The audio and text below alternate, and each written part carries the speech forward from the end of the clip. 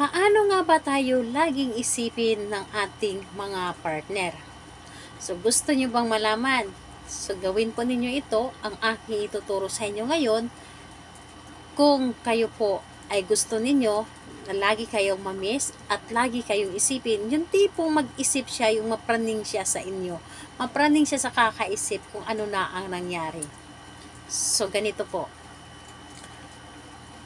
Kapag yung partner ninyo ay gusto ninyo na lagi kayong isipin, is ang gagawin po ninyo, huwag ninyo siyang i-chat.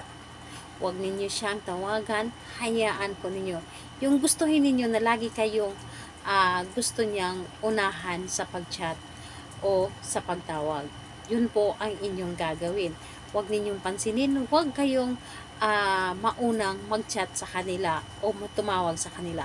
Hayaan po ninyo para mag-isip siya ng tipong ah, nakasanayan niya na ikaw yung laging nag-chat, ikaw yung laging tumatawag sa kanya, baguhin po ninyo yun.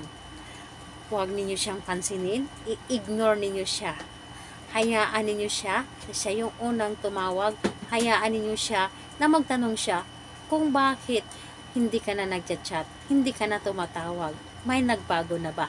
So, yun po ang inyong gagawin. Sigurado na yung partner ninyo ay siya yung mismo ang unang laging tatawag at mag-chat sa inyo at talaga namang mapraning siya kapag hindi mo siya tinatawagan o chinachat o ini-ignore mo siya. Yung hayaan mo siya, kahit gaano mo na siya kamimi, kamis, hayaan mo lamang siya. Siya yung unang laging susuyo, siya yung laging unang tatawag sa inyo.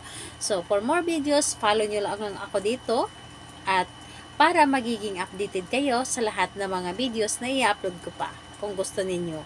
So, ayun po.